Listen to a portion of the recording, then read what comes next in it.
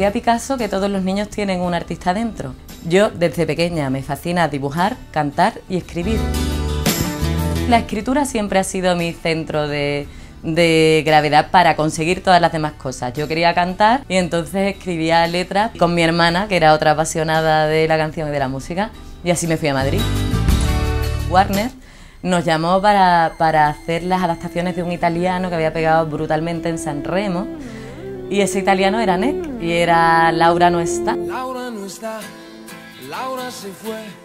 Y vivimos 10 años de la música. Entre tanto, Universal nos fichó para grabar nuestro primer y último disco. ¿Por qué no probar a jugar al revés? A que pueda pasar lo que no puede Y ser. fue fa- maravilloso. O sea, mi, mi etapa musical fue, fue mm, gloriosa. Porque fuimos lo que fuimos.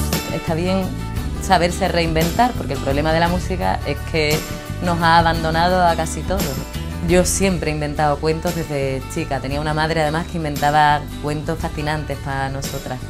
Pero entonces me resultó fácil inventar cuentos para Violeta y para Pablo. Y luego el paso más era ponerme a, a dibujar. Mi hija Violeta quería ser una princesa rosa, cosa que a mí me parecía imposible, impensable y no daba crédito. Lo cierto es que yo trataba de convencerla siempre, pero Violeta, las princesas no... Y por eso le escribí un cuento que se llamaba ¿Hay algo más aburrido que ser una princesa rosa? Y a partir de ahí empecé y no he parado nunca más.